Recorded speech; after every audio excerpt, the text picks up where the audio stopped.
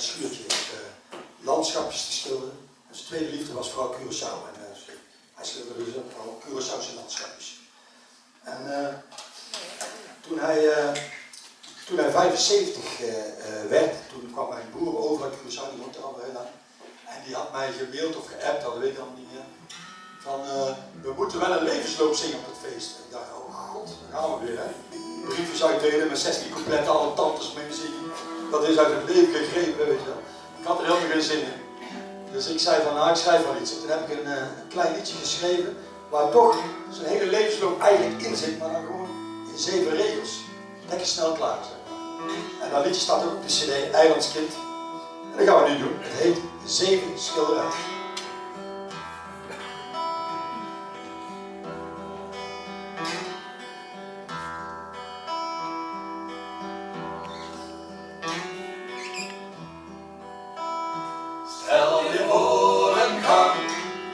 Met zeven schilderijen, zeven oliedoeken tegen het behang. Zeven episodes van een mooie roman, het leven getekend en de gang is nog lang. Hoofdstuk 1 We zien Breda, nog haast geen auto's in de straat.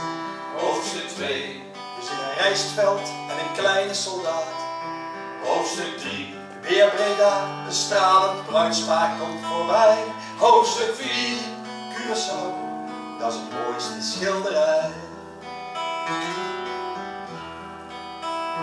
Stel je voor een gang met zeven schilderijen, zeven oliedoeken tegen het behang, zeven episodes van een mooie roman, het leven getekend en de gang is nog lang.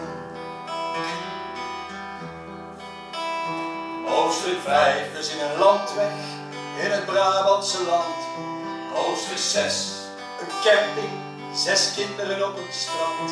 Hoofdstuk 7 Een vliegtuig in het hemelse blauw En ik kan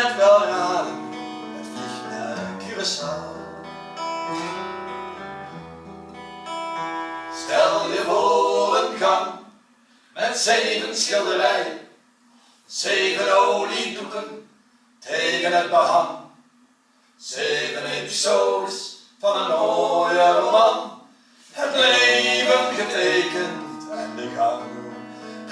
Is nog.